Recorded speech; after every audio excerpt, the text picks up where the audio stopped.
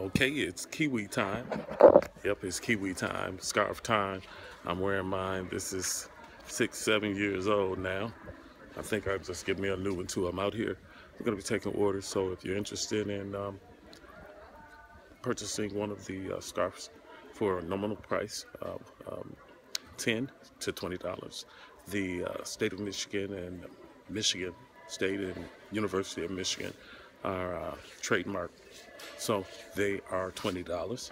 But we do have other scarves that are going to be ava- available in the uh, swaths. They are going to be at the bottom.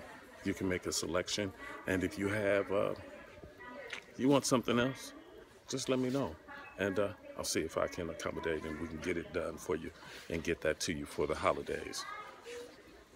It is Kiwi time. You ready? You can get it done. Happy holidays, everybody.